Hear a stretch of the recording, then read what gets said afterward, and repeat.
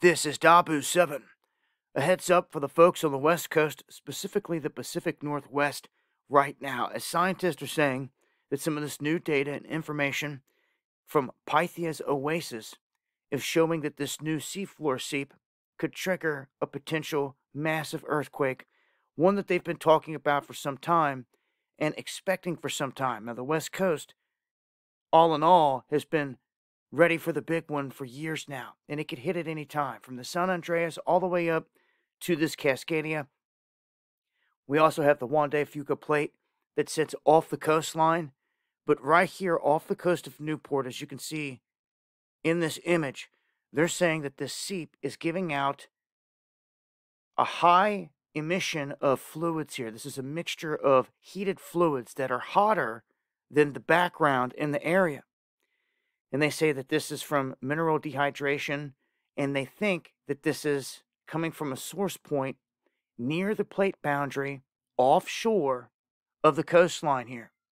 Now, when you look into this, it looks like this. They had a drone down there on the seafloor. See a quick image right there of that shot of the drone down there, but really it was just bubbles for the most part, is what it looks like. You can see here in the composite the large scale emissions coming from this spot.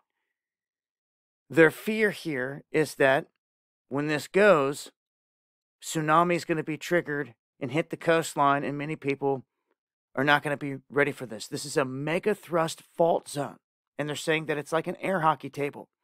They say if the fluid pressure is high, it's like the air is turned on, meaning that there's less friction and the two plates can slip and slide around really easy. If the fluid pressure is lower, the two plates will lock, and that's when the stress can build up.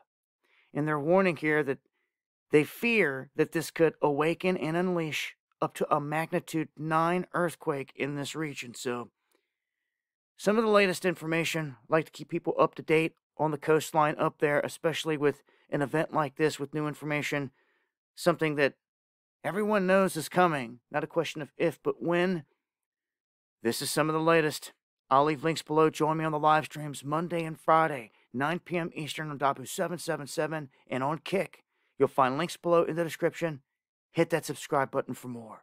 Much love, y'all.